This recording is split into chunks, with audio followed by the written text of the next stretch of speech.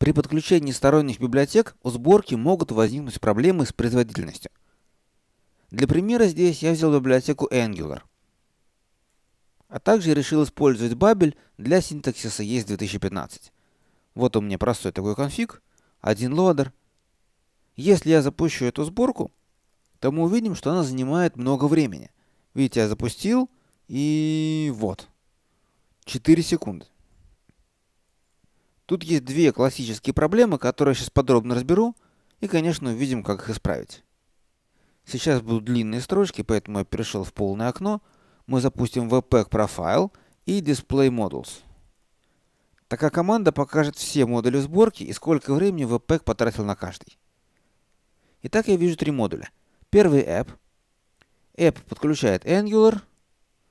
И откуда-то взялся еще этот третий. Давайте я сделаю минус-минус display reasons. Тогда я более подробно увижу, что что подключает. Ну вот. Посмотрим внимательней. Формат здесь очень простой. Первым идет app.js. Главный модуль сборки, он очень маленький, всего 199 байт. Инициализация сборочки 27 миллисекунд. Сама сборочка этого модуля 500 миллисекунд. Вообще 500 миллисекунд это слишком много для сборки такого маленького файла. Однако, так как это первый модуль, то при этом происходит инициализация разных внутренних структур, поэтому это можно сейчас пропустить. И идем дальше. Следующий модуль это Angular slash index.js. Он тоже, как оказывается, очень маленький. И ниже написана причина, почему он включен в сборку, потому что Angular прорекварена в slash app.js. Вот почему. Что ж, инициализация для этого модуля заняла 8 миллисекунд и сборка этого модуля 17. Очень мало. А дальше еще один модуль. Angular slash Angular. И этот модуль уже жирненький. 961 килобайт. Почему он включен в сборку? Смотрим. И этот модуль включен в сборку, потому что он есть вот здесь. Ага. именно на этом модуле происходят основные тормоза. Как видно, инициализация для этого модуля 6 миллисекунд, а сборочка аж 3,3 секунды. Давайте посмотрим в исходниках непосредственно, на что это похоже. App.js подключает Angular. Вот Node Modules Angular. Index.js. Точка входа в библиотеку. И эта точка входа в библиотеку действительно очень маленькая. Как видим, она делает следующее. Подключает точку slash Angular, то есть вот этот файл, и экспортирует переменную Angular. Заметим, что это не совсем типично.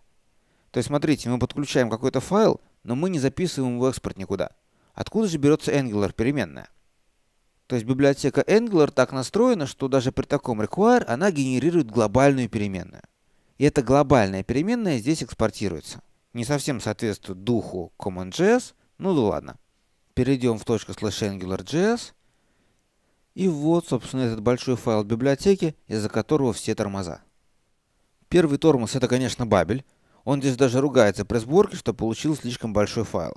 Как бы намекая, что может быть этот файл очень большой, и его не надо трансформировать. И действительно, AngularJS библиотека не нуждается в обработке бабелем, поэтому мы сейчас конфигурацию поправим и добавим exclude.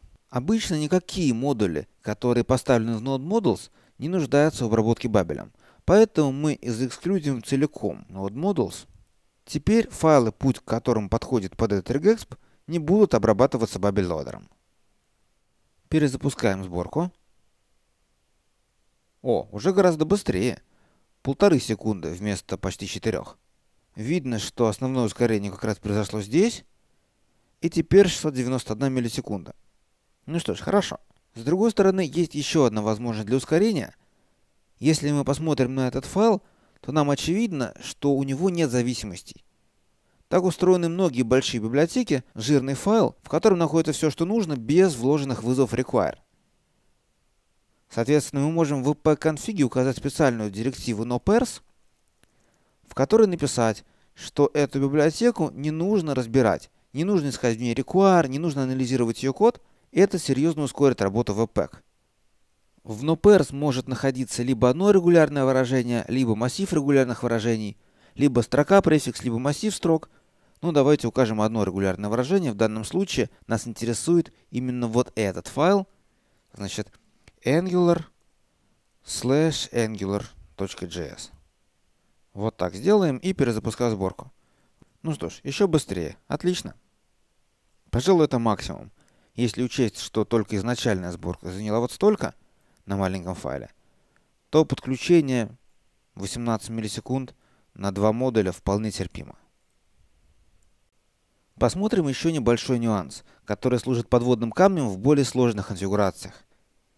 Велик соблазн сделать в NoPairs то же самое, что делалось в Exclude, то есть взять такое же регулярное выражение и вот сюда вставить, предполагая, что внутри NodeModules ничего парсить не надо.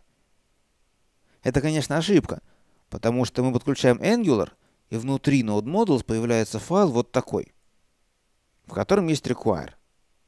То есть этот файл должен обработать с webpack, поэтому в NoPairs мы не имеем права игнорировать все внутри NodeModules.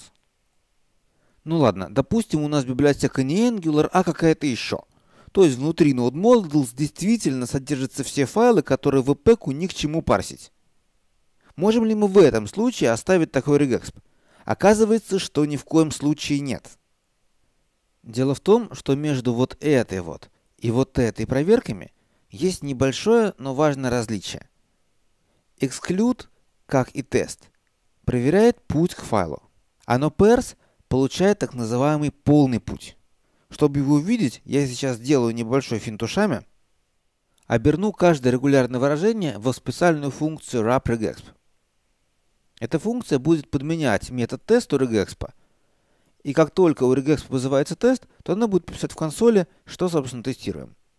Webpack внутри себя как раз метод тест использует, и таким образом такая обертка позволит мне видеть, что реально попадает в regexp, что он проверяет. Давайте запущу сборочку Webpack. Так, что мы видим?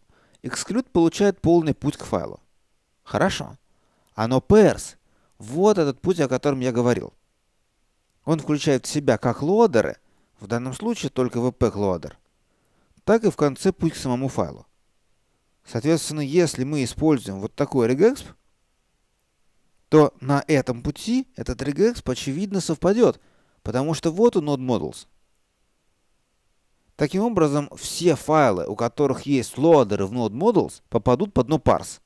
В данном случае выходит, что несмотря на то, что мы-то хотели внутри NodeModels все отфильтровать, у нас отфильтровалось вообще все, что проходит через бабель. То есть в данной ситуации будет так, что app.js не будет парситься. Давайте глянем, что получилось. App.js хоть и включен в сборку, но webpack не анализируется. Соответственно, зависимость require Angular не подхватывается, в результате эта сборка работать не будет. Эту проблемку можно обойти, если добавить regex что-то в таком духе, то есть искать node modules, а потом что угодно, кроме восклицательного знака. Тогда фильтр будет касаться только путей к файлам, и действительно, если перезапустить, то мы увидим, что вот, видите, app, потом noParse здесь не сработал. Благодаря этому пошел include в Angular. И если предположить, что дальше нам ничего не нужно, то все правильно. С другой стороны, в реальной жизни зачастую в Node Modules все-таки есть какие-то библиотеки, которые нуждаются в обработке веб-пэком. Так что давайте делать вот так то есть node modules, и мы явно перечисляем, что мы хотим исключить. Еще один нюанс касается использования exclude в лодерах. Exclude это очень распространенная настройка, но зачастую гораздо комфортнее использовать противоположную, а именно include. Include можно указать префикс, например, директорию dirname frontend. И тогда лодер будет применяться только к файлам из этой директории.